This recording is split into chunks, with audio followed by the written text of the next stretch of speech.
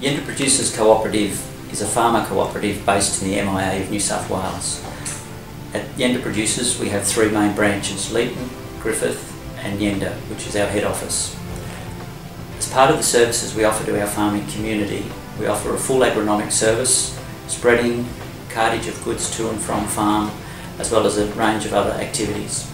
In addition, we also conduct a full irrigation installation and design business and run a livestock and rural real estate service to our customers. We have a total of 1,500 shareholders that get rewarded every year through the repayment of rebates and dividends from our profits that we earn.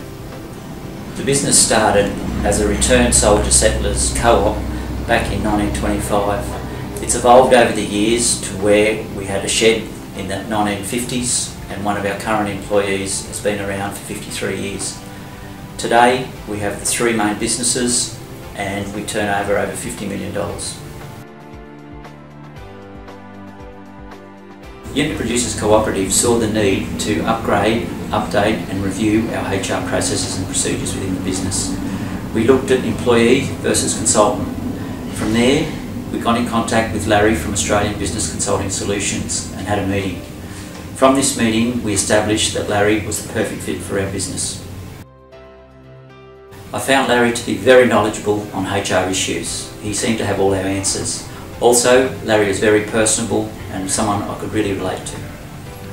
As a result of working with Larry, he's helped us identify shortfalls within our business and prioritise our needs.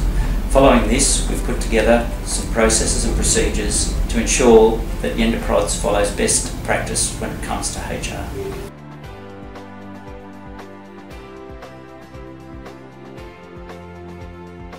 From here, with our HR process, we are looking at giving our supervisors and managers further training in handling employees and looking at best practices within our HR process.